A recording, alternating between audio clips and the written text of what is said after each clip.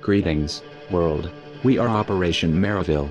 Two young girls have been raped in the town of Maryville, Missouri.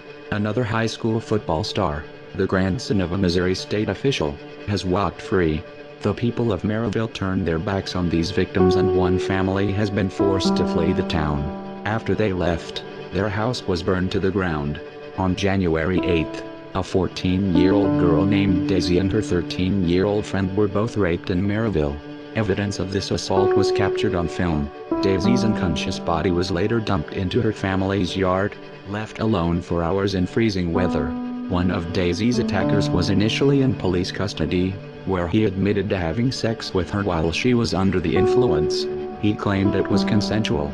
The hospital states the young girl's blood alcohol level was almost twice the legal limit and they discovered three tears inside of her body, 2 to 4 inches in length.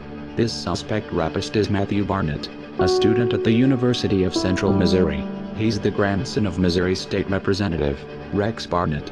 We demand an immediate investigation into the handling by local authorities of Daisy's case. Why were the suspects initially arrested and then released? How was video and medical evidence not enough to put one of these football players inside a courtroom? What is the connection of these prosecutors, if any, to Representative Rex Barnett? Most of all, we are wondering, how do the residents of Maryville sleep at night? We have heard Daisy's story far too often.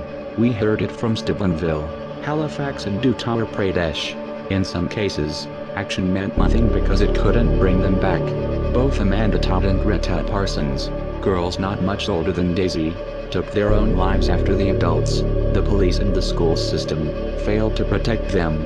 If Maryville won't defend these young girls, if the police are too cowardly or corrupt to do their jobs, if justice system has abandoned them, then someone else will have to stand for them. Mayor Jim Fall, your hands are dirty. Maryville, expect us. We are anonymous. We are legion. We do not forgive. We do not forget. Join us.